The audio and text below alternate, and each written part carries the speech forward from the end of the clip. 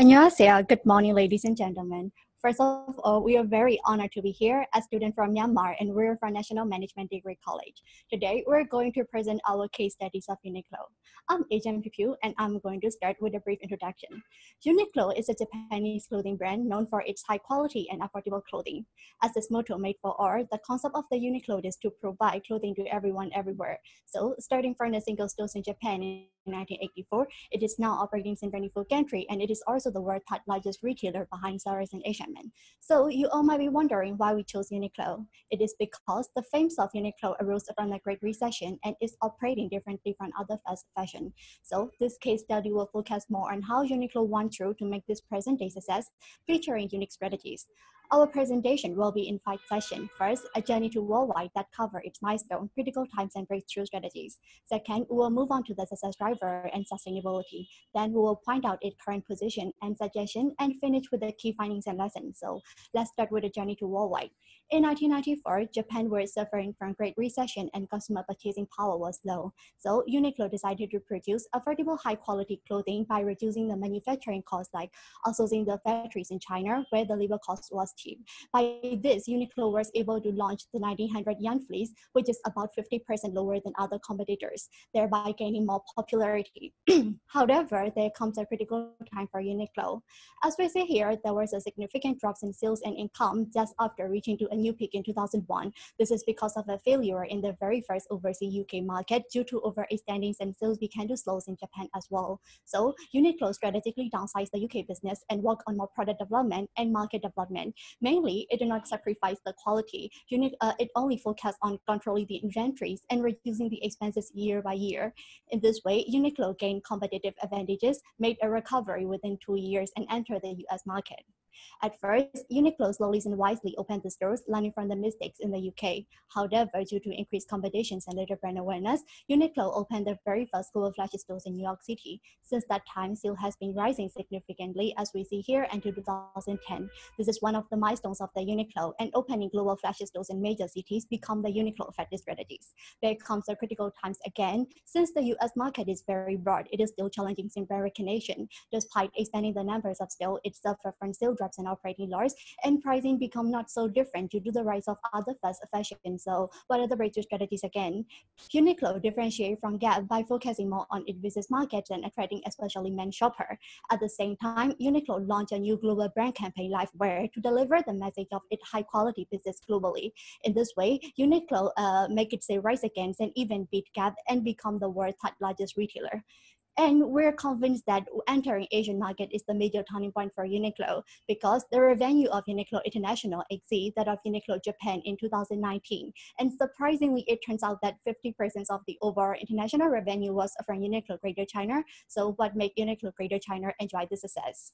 Moreover, Uniqlo entered the Asian market since 2002 and operating in nine countries with big popularities so how Uniqlo is keeping this position in Asian market as well? The answer for Greater China is Uniqlo good market awareness because it is the first international brand that deeply invests in Chinese social media like like setting up a virtual flash stores on Chinese e-commerce Taobao and engaging its customer on Reverend WeChat and etc. To give a solid answer for the entire Asian market, it is its adaptability to change and difference between culture while maintaining the business brand image. For example, for Indian market, Uniqlo inspired the everyday wears of Indian men and women for design creation. Well, this is a brief journey of Uniqlo and success driver will be mentioned by next person. Hello, I'm Tayatia and I'll be presenting reasons behind Uniqlo success and success drivers. First, I would like to mention the leadership of the founder, Tadashi Yanai.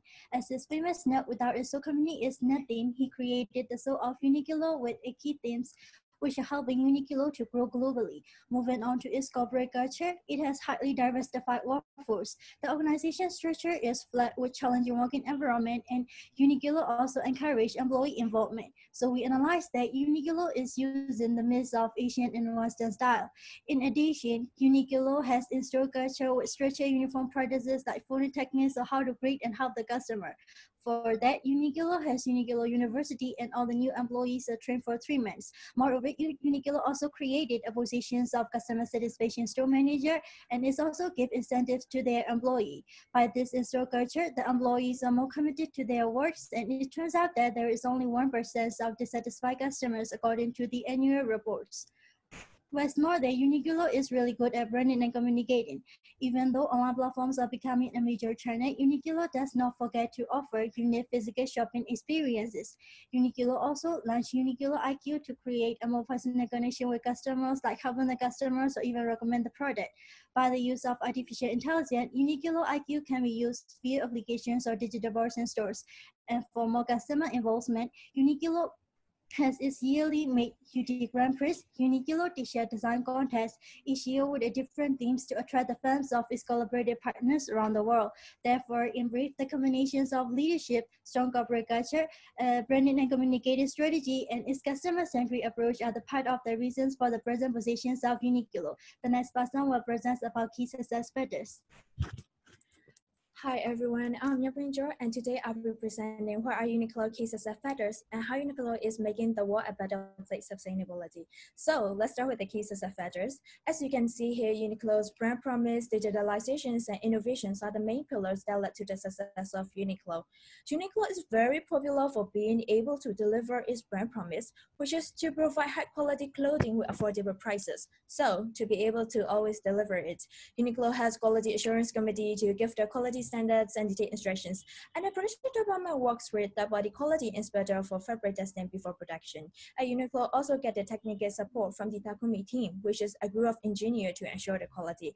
And there is also a project quality and customer care team to collect customer feedback. And for procurement, Uniqlo has material area development team to connect and negotiate directly with a fabric manufacturer around the world. So let's move on to digitalization. As Uniqlo has gradually transformed from being a domestic chain to a global chain, it has been repositioning itself with an online presence. Apart from the website, Uniqlo also focuses on online social media platforms like Facebook, Twitter, and Instagram. Moreover, it has started its mobile applications in 2014, and there is no doubt that Uniqlo is brilliant in launching creative and collaborative marketing campaign along with catchy hashtags and user-generated content on social media. And its latest hashtag campaign is hashtag UT Play Your World, which is a collaboration with TikTok to promote its UT graphic t-shirt. So next is innovation. Uniqlo is well known for fabric innovation, and as Uniqlo founder Tadashi Yanai said, Uniqlo is not a fashion company, it's a technology company and uses a high-tech approach and form partnership with Japanese manufacturer to innovate fashion. And one of the noteworthy innovation is Heattech, which is an outstanding line of comfort clothing to keep you warm in cooler temperature and it was able to sell over 1 billion pieces within 15 years. And Uniqlo also has the Jeans Innovation Center, which is designed to reduce water usage by up to 99%. So along with it, the next topic is about sustainability. Uniqlo's carry out several sustainability activity under its sustainability mission statement, which is unlocking the power of clothing. Since people are becoming more aware of the environmental impacts of goods and services, so Uniqlo's aim to create new value by solving problems for the people, planet, and community. By people, Uniqlo is dedicated to making empowered workplaces.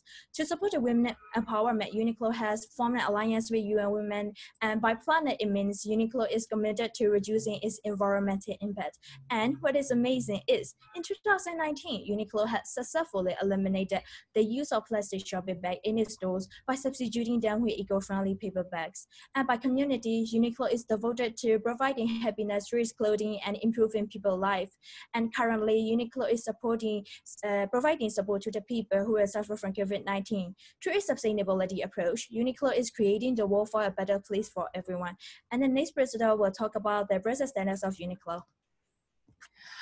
Hi everyone, I'm Ikamandu. Firstly, I would like to highlight the financial performance of Uniqlo from 2015 to today. Sales at Uniqlo Japan were steady until 2017 and on the other hand, there was a slight rise in revenue and operating profit of Uniqlo International.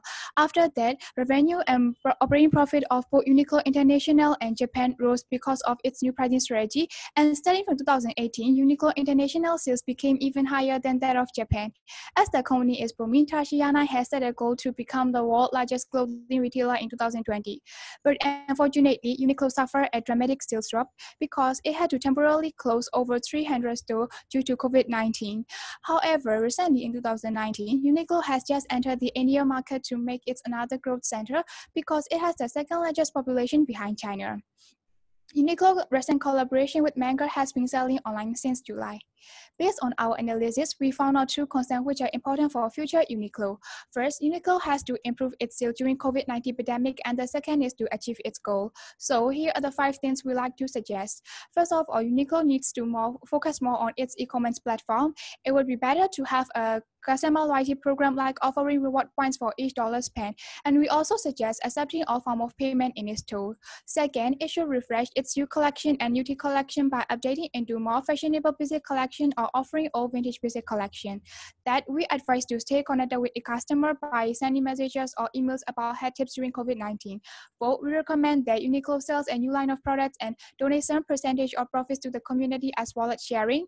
Last but not least, Uniqlo should be an environmental supporter for the community. For this, we suggest launching a runway event regarding environmental issues. And next presenter will conclude the presentation. Now you've seen the story of Uniqlo and how they managed their way up to the top three. Through the gate, we found that Uniqlo learned from the failure and made a breakthrough of it, and it did not give up on keeping up with its commitment while taking One full advantage of emerging technology. Moreover, it values customer satisfaction, but does not forget to make its employee feel special too. Undoubtedly, Uniqlo is attempting not only to be a leading fashion retailer, but also a good company that contributes to society as well. So, what can we learn, and what are the recommendations for students regarding their prospect career? I'll let you address four lessons that we learned from this case study. First, we don't need to follow the crowd, and second, stick to the core value. Moreover, we should try to differentiate from others, and no matter what kind of challenges we face, find ways of overcoming them, learn from the mistakes, or even turn them into opportunity. If we make a great use of this, the gear will be in the right place and they will turn, and we will achieve what we desire. This is the end of our presentation. Thank you, and we'll be grateful to take any question.